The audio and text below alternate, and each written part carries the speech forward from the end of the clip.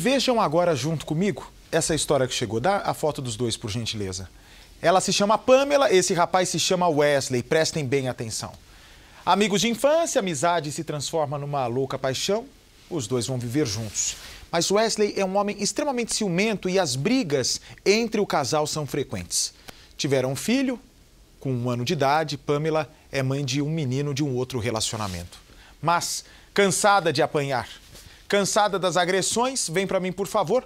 A moça se separa e consegue uma medida na justiça contra Wesley. Mas ela, ingenuamente, acaba perdoando o ex-marido e os dois voltam a se relacionar como se nada tivesse acontecido.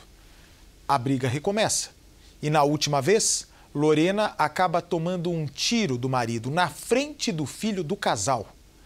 Acompanhe comigo os detalhes.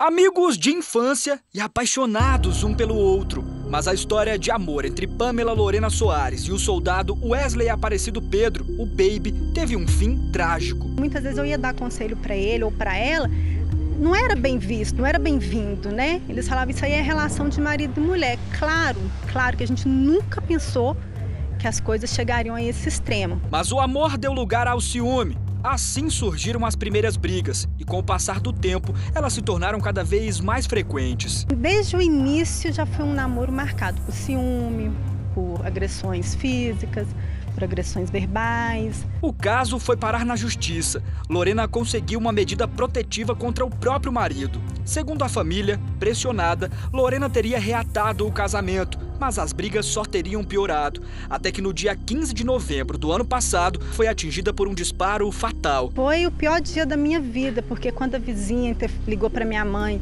para contar que eles tinham brigado e que ele tinha dado um tiro nela, a gente não tinha noção da gravidade. Segundo o policial militar, ele e Lorena teriam dado início a uma discussão e no meio da briga ela teria tentado pegar a arma dele. Foi nesse instante que o tiro teria acontecido. Versão contestada pela família da vítima. Ela tinha um metro e meio, ele tem um metro e noventa. Ela pesava menos de 60 quilos, ele 100 praticamente, então ele tinha força.